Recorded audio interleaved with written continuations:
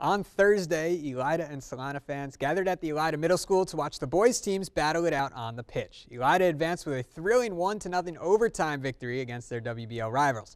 Today, the two fan bases get to do it all over again with the ladies on the pitch this time. Celina Lady Dogs are riding high after a 4-0 victory over Ottawa Glandorf on Tuesday, while Elida shut out the WBL champs Bath 2-0 earlier this week.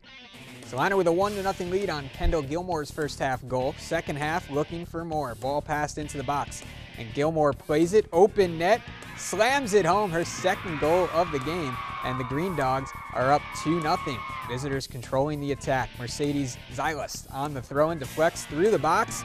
Bailey Louts, good look.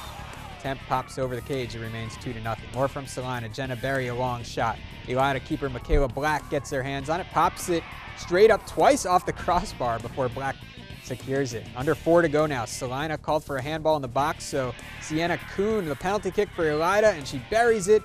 Elida cuts the lead to two to one with under three and a half to go, but that's as close as the Orange Dogs would get. Celina holds on for the two to one victory. For the second time in three years, Celina is regional bound after controlling the pitch against Elida. Well, I felt that we controlled pretty much at least over 50% of the game, which is important in this type of a game.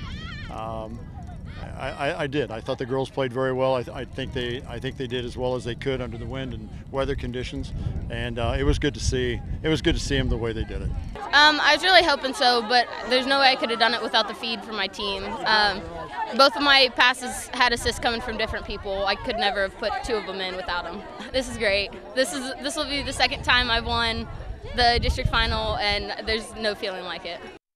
Well, congrats to Celina. They're on to the regional. They'll play in Findlay on Tuesday night as they get Oak Harbor at 7 p.m. Oak Harbor knocked off Toledo Central Catholic 4-1 on Saturday. Ontario, a team that already beat Celina once on the other side of the bracket, taking on Holy Name.